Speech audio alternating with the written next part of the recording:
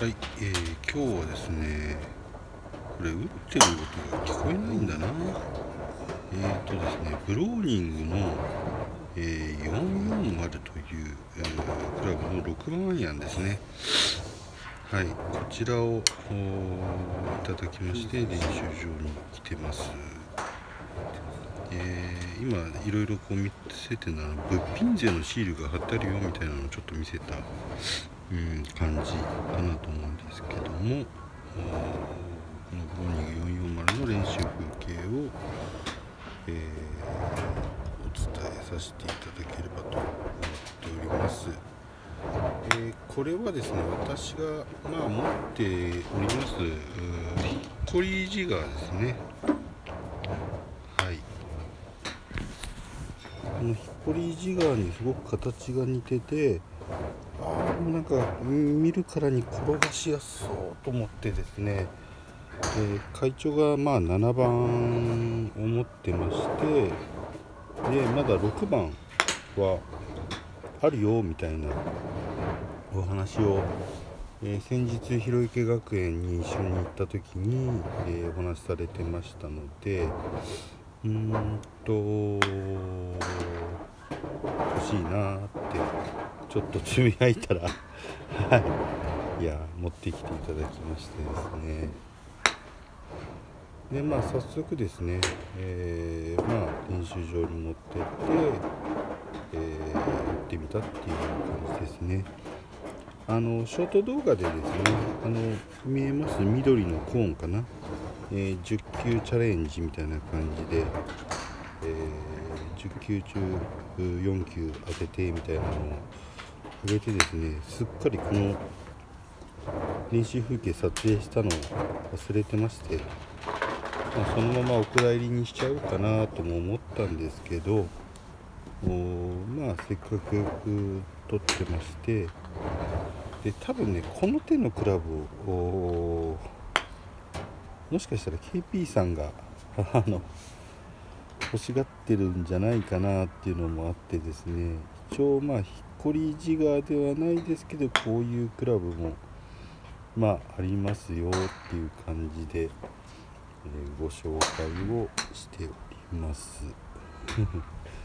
でこれねやっぱグリップがね、まあ、硬化してかなりツルツル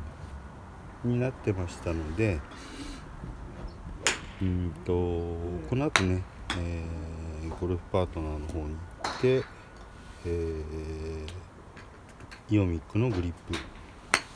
プをさしてきました。でずっと使ってるね。ついでにあのー、4番ユーティリティかな？4番、えー、ユーティリティであってる。ハイブリッドか。あもうねな使って何年だろうなあれ。多分震災前に買ってるはず。だから10年以上。モデル的に2008年って出てたかななんか中古ショップで見てたら。のユーティリティをずっとこう使ってるんですけどもあのそれもねイオミックの、えー、柔らかめのグリップがずっと刺さっててまあ十何年12年ぐらいですかね123年。でずっと同じグリップでまだね粘着力あるんでまあまあ変える必要もないかなと思ったんですけどある日気づいたら右手親指のところが多少すり減ってるじゃないかと思ってですね、えー、まあタイミングがあれば変えようかなと思ってたんで、えー、まあ一緒にこの、えー、ブローニングと一緒にですね、え変えてまいりました。であと先生からいただいた、えー、っとあれはあれですねフルイットフィールかえー、っと ウィルソンスタッフのですねフルイットフィールの、えー、2番アイアンもまあグリップがあまあまあツルツルだったので、こう使ったらないかなと思うんですけどもまああのねえー、まあ、今日遊んでもいいかなみたいな時にね、まあ、持ってって、えー、例えばなんか旅行のって鉄だけでもやるとかって面白いんですかねもしかしたら。あそれ面白いんじゃないかな結構。うん、まあ使い方わかんないですけど。あ、フルショットしたけどあの 距離見えねえじゃねえかって多分ね最初はね軽くハーフショット。打ってどう120ヤードぐらいだったのかな？でこれを多分ちょっと強めに打ったのね。えー、138? ちょっと見にくいな。はい。えー、なのでひっこりジガーでどうだろう？130飛ばないくらいなので、えー、ひっこりジガーの一番手上みたいな。一番手上でいいのかな？ぐらいのイメージかなと思いますえっ、とまあセベケンさんのねフェイスブックの中からえー、KP さんがね、えーと、ひっこりジガーって何度ぐらいっていう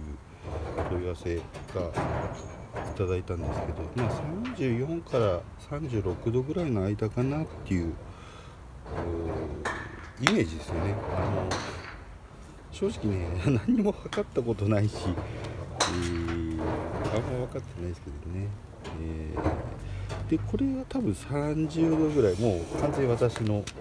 え目分時ですけどねぐらいかなっていう感じのロフト角。ただこれ1本でねそろそろこれ終わるなこの動画きっと、えー、長さを調べ始めましたのでまああの急に終わります、えー、